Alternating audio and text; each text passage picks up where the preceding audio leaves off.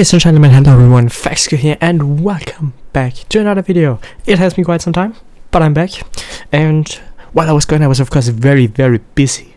Of course I was very busy, I was working on my side projects and I was definitely not just sitting around in my room contemplating my life choices that led, all led up to this misery in this moment that I'm currently experiencing. What? Anyway, um, I've been working on my magnum opus, the biggest project I've ever worked on, the greatest project that has ever been worked on. It's it's a website. It's online. You can use it right now. But let me show you. Hold on to your seats. This is absolutely incredible.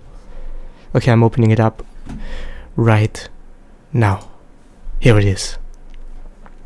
It is a website where you can click on a button and it counts. Isn't that incredible? that's every time it has been clicked it's been I have uh, clicked it in testing a few friends of mine have tested it. And yeah you can click it and it updates.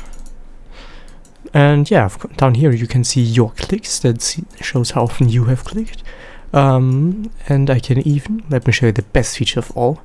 Let me open up a new window here go to the website. And now look at this. It updates in real time across the windows.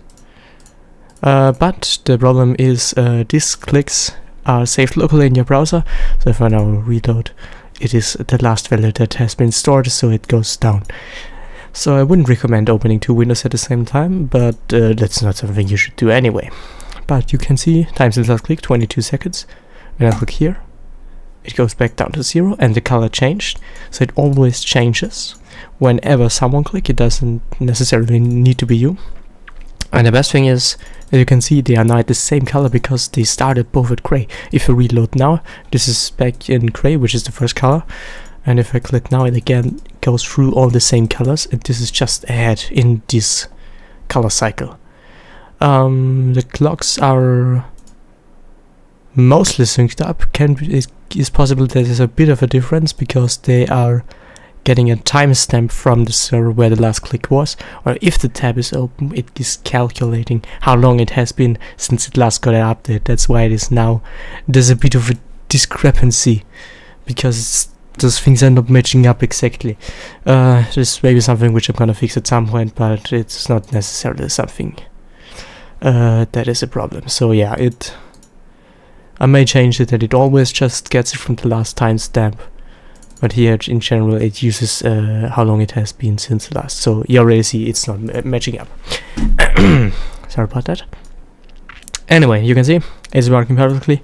Link is in the description. Please check it out. Click a bit around. And yeah. That's all I have to say. I'll see you guys again uh, in the next video which may come out in a few months. And until then thanks out. Bye bye